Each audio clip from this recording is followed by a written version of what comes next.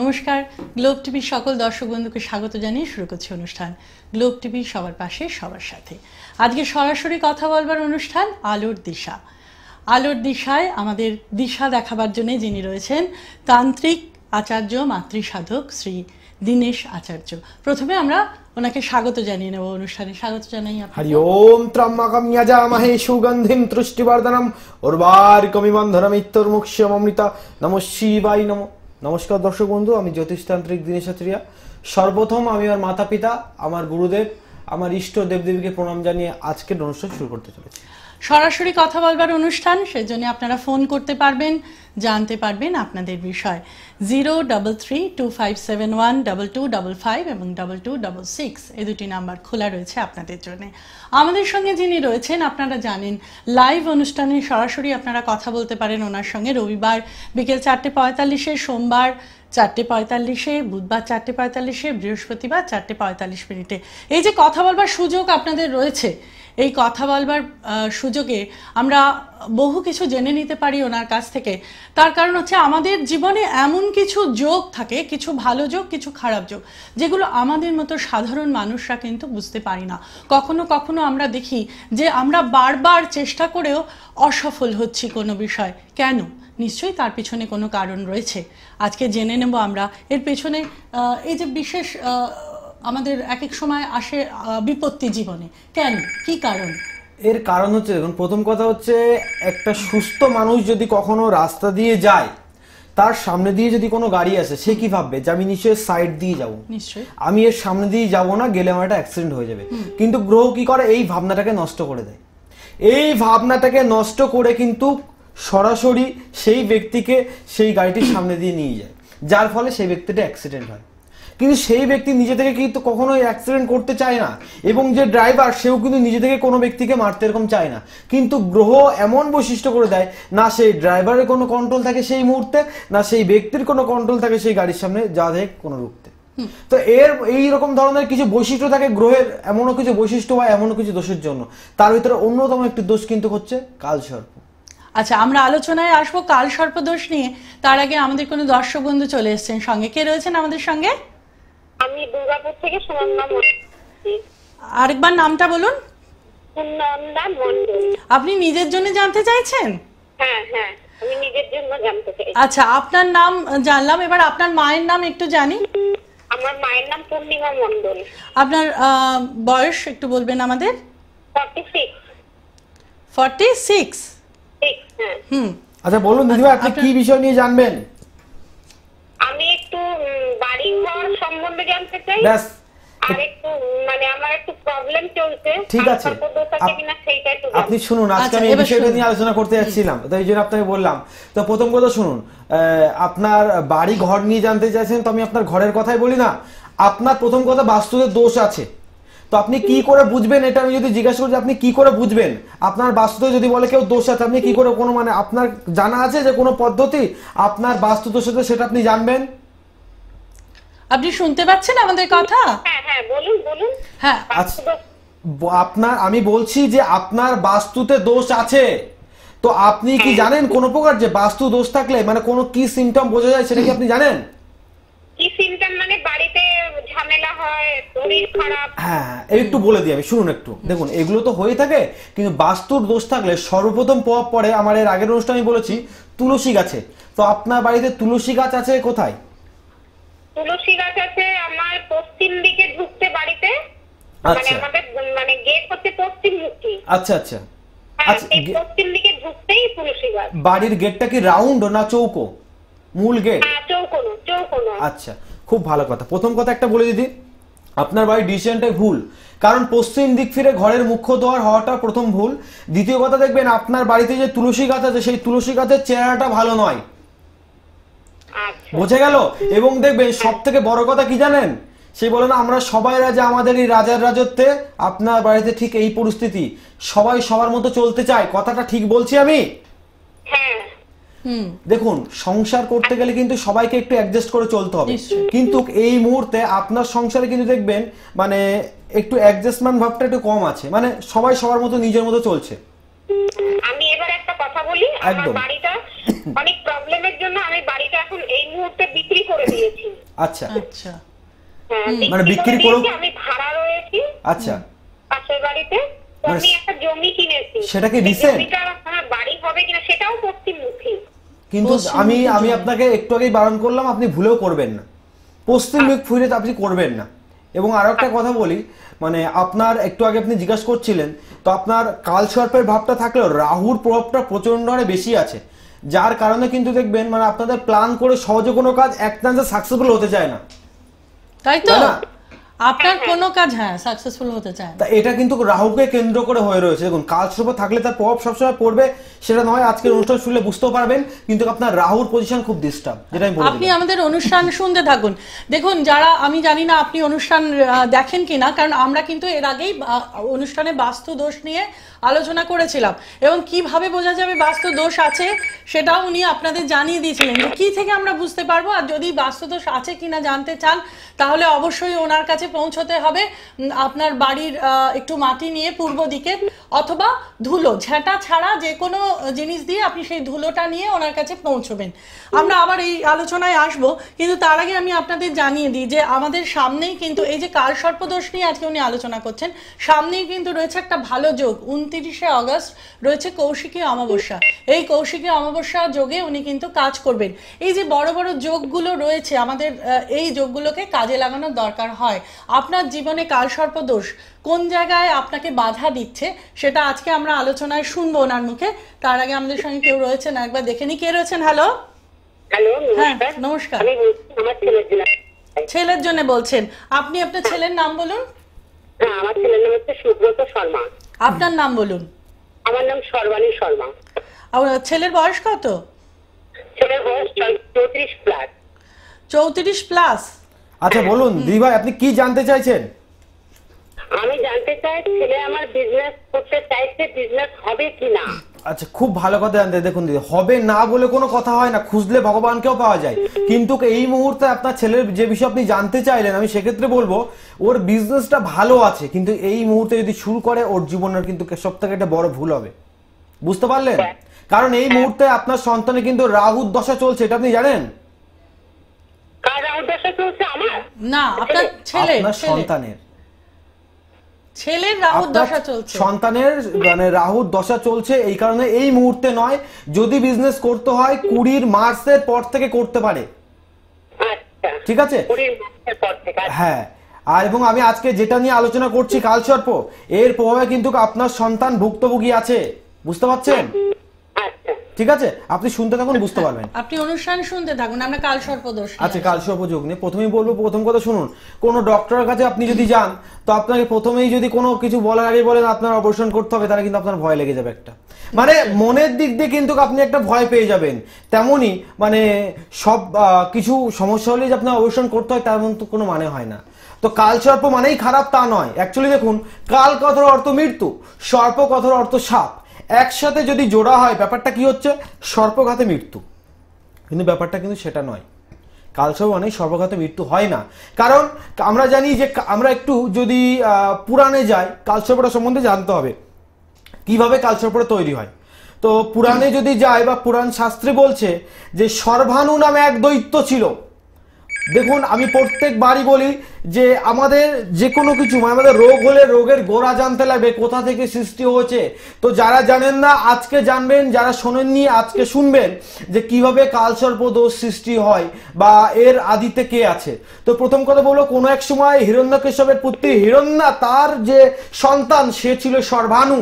সেই সর্বাণু কোনো এক সময় সে তো দৈত্যকুলে ছিল যখন অমৃত ভাগ হচ্ছিল দেবতাদের দেবতার ওষুধের ভিতরে তখন আহ, সর্বাণু কিন্তু দেবতার ছদ্মবেশে মোহিনীর কাছ থেকে অমৃত নিয়ে পান করতে যাচ্ছিল। সেই সময় কিন্তু চন্দ্রদেব এবং সূর্যদেব সেই দৃশ্য দেখে যে সর্বাণু দেবতার রূপ ধারণ করে। সেটা যখন নারায়ণকে বলে দেয় নারায়ণ তার সুদর্শন চক্র দ্বারা সর্বাণু শিরোচ্ছেদ করে দিয়েছিল। রাহু বলে কেউ ছিল না বা কেতু বলে কেউ ছিল না। বা জ্যোতিষ জগতে কিন্তু রাহু, কেতু কোনো গ্রহ নয়। এরা কিন্তু একটা ছায়াগ্রহ, জানতে লাগবে আপনাকে। রাহু, কেতু কোনো গ্রহ নয়। এরা এক প্রকার ছায়া গ্রহ সর্বাণু নামক দৈত্যকে যখন নারায়ণ তার সুদর্শন চক্র দ্বারা শিরোচ্ছেদ করে দেয়, তার উপরের অংশটা হচ্ছে রাহু এবং তার যে নিচের অংশ, লেজের অংশ, সেটা কিন্তু কেতু নামে খ্যাত হয়। তো ঠিক এই রকম পরিস্থিতিতে কোনো জাতক বা জাতিকার জন্মচকে যদি একদিকে রাহু আর কেতুর মিডিলে কোনো প্রকার গ্রহ না থাকে বা পাঁচটা ঘর ফাঁকা থাকে, তখন তাকে কালসর্প বলে, এটা কিন্তু আমরা সবাই জানি। কিন্তু কালসর্প হলেই হবে না। যেমন আপনার জ্বর হলে ম্যালেরিয়া, ডেঙ্গু, চিকনকনিয়া বিভিন্ন ধরনের জ্বর হতে পারে, তেমন কিন্তু কালসর্প এক প্রকার নয়, এই বারো রকম কালসর্প দোষ হয়। এবং তার প্রভাব কিন্তু সবসময় সমান হয় না। আমি একটু আলোচনা করতে গিয়ে বলব, দেখবেন অনেকের একটা ধারণা আছে যে আমার সন্তানটা পড়াশোনায় খুব ভালো, কিন্তু বা আমার মানে আমি নিজে খুব হাই এডুকেটেড কিন্তু আমি কোনো কর্ম পাচ্ছি না। একের অধিকবার কর্ম থেকে বিভ্রান্ত হচ্ছে। অনেকেই দেখবেন যে একসঙ্গে দশজন ইন্টারভিউ দিতে যাচ্ছে কোনো কিছুতে। মানে তার মানে দেখছেন আপনার ট্যালেন্ট বেশি আছে, কিন্তু আপনার থেকে কম ট্যালেন্ট কেউ না কেউ আপনার চোখের সামনে থেকে বেরিয়ে যাচ্ছে। আপনি যেতে পাচ্ছেন না। আপনার আপনি যোগ্য, কিন্তু আপনি পাচ্ছেন না। আপনি যে পরিমাণে পরিশ্রম করছেন, সেই পরিমাণে পারিশ্রমিক পাচ্ছেন না। ধরে নিন যদি আপনার কাল সর্পটা কর্মকে কেন্দ্র করে থাকে মানে কালসর্পর ভিতরে দেখা যাচ্ছে আপনার কর্মস্থান রয়েছে বা আপনার আয় যে আয়ের যে জায়গা সেই জায়গাটা রয়েছে বা আপনার আয়ুর যে জায়গা সেই জায়গাটা রয়েছে এদের প্রভাব কিন্তু আলাদা আলাদা হয়। অনেক আরেকবার আলোচনায় আসব। কেউ রয়েছেন আমাদের সঙ্গে? হ্যালো হ্যালো হ্যাঁ নমস্কার। কে রয়েছেন? হ্যাঁ আমি রেবা আইন বলছি। কোথা থেকে বলছেন? আলিপুরদুয়ার থেকে। আপনি নিজের জন্য জিজ্ঞেস করছেন? তার নাম মেয়ের জন্য। মেয়ের নাম বলুন। মেয়ের নাম অর্পিতা আইন। আইচ? আইন। আইন। হ্যাঁ দন্তেন্ন আচ্ছা আচ্ছা, আইন। অর্পিতা আইন কত বয়স? ওর হচ্ছে এটা আকাশ আঠাশ বছর বয়স। কি আপনি জানতে কি জানতে চান? ওর বিয়ের সম্বন্ধে একটু জানতে চাচ্ছি। আচ্ছা প্রথম কথা আমি আহ, বলব একটু আমাকে আগে যেতে হবে। দিবা একটু আপনি লাইনে থাকবেন শুনবেন ঠিক আছে? আমি আপনার বিষয়টা নিয়ে বলব একটু শুনবেন কেমন? ঠিক আছে। দেখুন আজকের দিনে আমি একটু আলোচনা থেকে একটু আগে গেলে দেখবেন এই ধরনের সমস্যাটা অনেকেরই দেখা যাচ্ছে। শুধু এই দিদিভাই বলে নয় মানে বিবাহ উপযুক্ত কন্যা বাড়িতে আছে। মানে বিবাহ উপযুক্ত কন্যা বাড়িতে আছে কিন্তু কোনো প্রকার বিবাহ ঠিক যোগাযোগ হয়ে উঠছে না। কিন্তু দেখা যাচ্ছে সেখানে কোনো কমতি নাই। সমস্ত কিছু ঠিকঠাক আছে কিন্তু দেখা যাচ্ছে যে আসছে। মানে পাত্রপক্ষ থেকে আসছে এসে দেখে যাচ্ছে সম্বন্ধ দেখছে দেখার পর ঠিক আছে আমরা জানাব। ঠিক আছে আমরা আসব। এই আসি বলে আর আসছে আর, না হ্যাঁ, বা জানাব বলে আজ জানাচ্ছে না। এই ধরনের বিভ্রান্তি কিন্তু এক নয় অনেককে ভুগছে। দেখুন বাবা মায়ের কিন্তু একটা পরম কর্তব্য যে তার কিন্তু এটা একটা দায়িত্ব যে তার সন্তানকে একটা ভালো আহ, মানে তার কন্যা সন্তানকে একটা ভালো আহ, পাত্রের হাতে তুলে দেয় যাতে তাদের জীবনযাপনটা সুখের হয়। সব বাবা মায়ের কিন্তু এটা একটা স্বপ্ন। কারণ বাবা মা কিন্তু একটা কথা জানে যে আমাকে দেখতে হবে সেটা এখনকার বাবা মা কিন্তু এই হালটা কখনোই করে না। হ্যাঁ, চাই যে তারা নিজেরা সুখে থাকুক এটাই কিন্তু সব বাবা মা কামনা করে। তো সেক্ষেত্রে দেখা যায় যে কিছু কিছু মানে কন্যা সন্তান বা পুত্র সন্তানও এমন আছে যাদের বিবাহিতে বাধা হয়ে রয়েছে। আর এর মূল কারণ কিন্তু কোনো এক দিক দিয়ে মাঙ্গলিক রয়েছে। দিদিভাই আপনার কথা শুনছেন? আপনি লাইনে আছেন? হ্যালো হ্যাঁ, আছি, হ্যাঁ আছি। তো আমি যেটা বললাম যে কোনো এক দিক দিয়ে এর কারণ রয়েছে মঙ্গল। তো আপনার মেয়ের জন্মছকে শুক্র এবং মঙ্গল একই স্থানে বসে রয়েছে সেটা এবং তুলো রাশির ঘরে। আপনার মেয়ের জন্মছক আছে? আপনার কাছে জন্মছক আছে হ্যালো? হ্যাঁ, আছে আছে। আছে এই মুহূর্তে কি আপনার কাছে আছে? না এই মুহূর্তে আমার কাছে তা আচ্ছা আমি বলে দিচ্ছি আপনি একটু পরে মিলিয়ে নেবেন। আপনার মেয়ের দেখবেন শুক্র আর মঙ্গলের স্থান কিন্তু খুব কাছাকাছি রয়েছে এবং সেটা এমন পজিশনে রয়েছে যার কারণে দেখবেন প্রথম কথা বলি আপনার মেয়ের কিন্তু এক নয় একের অধিক বিবাহ রয়েছে। কিন্তু আপনার একটা তাজুব লাগবে একের অধিক তো দূরের কথা। এই মুহূর্তে ওর বিবাহিত জীবনে মানে মানে বিবাহ হতে গিয়ে প্রথম কথা ডিস্টার্ব বিবাহিত জীবন তো পরের কথা। বুঝতে পারলেন? আচ্ছা। এর মূল কারণ কিন্তু মাঙ্গলিক। তো আপনাদের আমি যে ধরনের ঘটনা বললাম আপনার মেয়ের জন্য তো নিশ্চয়ই দেখাশোনা করেছেন। হ্যাঁ হ্যাঁ। এই ধরনের ঘটনা ঘটেছে তো যে আসি বলে আসবেন আসেনি বা জানাব বলে জানায়নি এই ধরনের ঘটনা হয়েছে তো? বা অনেকটা এগিয়ে গিয়েও পুরোপুরি জায়গাটা পুরো ডিস্টার্ব হয়ে গেছে? হ্যাঁ হয়েছে হ্যাঁ। হয়েছে, বুঝতে পারলেন? মানে এটা আপনার পরিপ্রেক্ষিতে সবাইকে বলা হলো প্লাস আপনাকে বলা হলো দেখুন, আমার কাছে কিন্তু শুধু জন্ম তারিখ, জন্ম সময় লাগে না।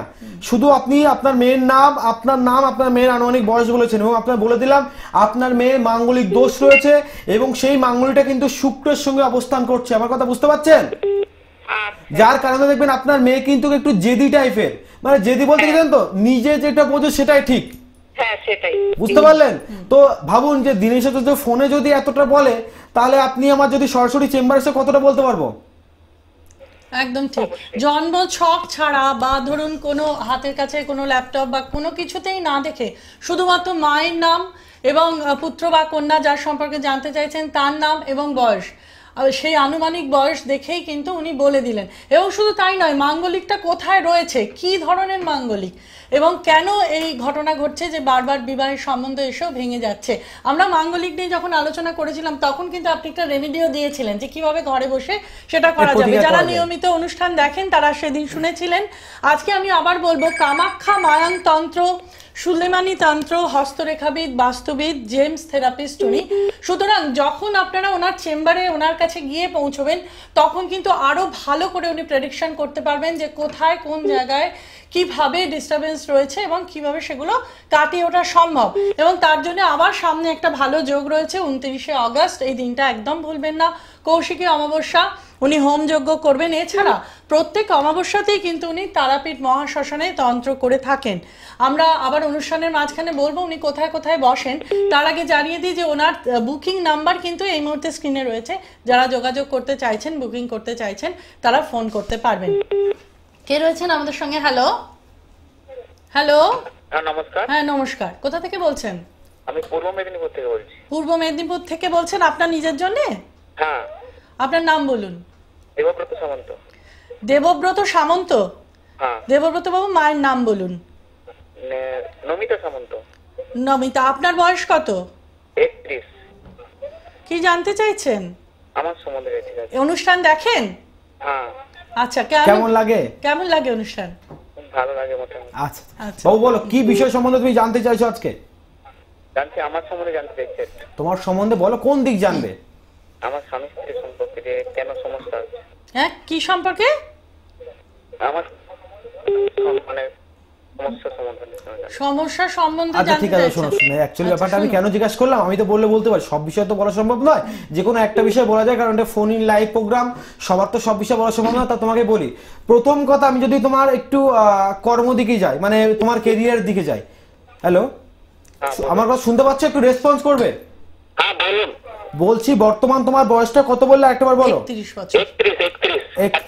থার্টি ওয়ান তো সেক্ষেত্রে আমি তোমাকে বলব প্রথম কথা দেখো তোমার কর্ম দুটো দিক রয়েছে তোমার কর্মের ঠিক আছে? হ্যাঁ, হ্যাঁ, একটা একটা যেমন রয়েছে সার্ভিস কিন্তু তার থেকে বেটার রয়েছে বিজনেস বোঝা গেল আমার কথা?